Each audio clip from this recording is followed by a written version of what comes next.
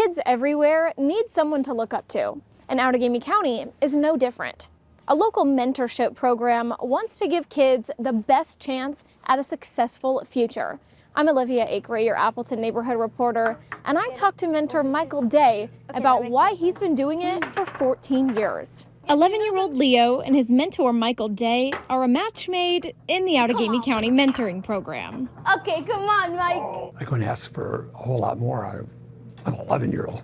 Day joined the program 14 years ago I enjoy the time I spend with my mentee. and hasn't looked back since. That's what makes me want to stay. According to the organization Mentor National, kids with mentors are 52% less likely to skip school and 46% less likely to use drugs. Having that one positive, caring adult role model can really make the difference for a child. That's program director Kayla Yernasek. She says the problem they're facing right now is there's not enough mentors. The kids who are on our waiting list, they want a mentor, they want a positive role model in their life, and we just don't have someone for them yet. They're looking for mentors right now. All the ways you can find out more will be linked on NBC26.com. There's around 40 kids on the wait list, and some have been there for more than a year. There are probably several others that could be referred but are just not being referred because the wait list is so long. Kids like Leo. Lots of mentors are actually very nice. They help you out with a lot and they really do treat you well and they they love having fun with you. I just feel like I'm making a difference, like I'm helping them out somehow.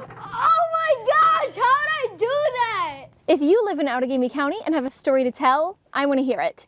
Email me at olivia.acree at nbc26.com, call the number, or scan the QR code on the screen. In Outagamie County, Olivia Acree, NBC 26.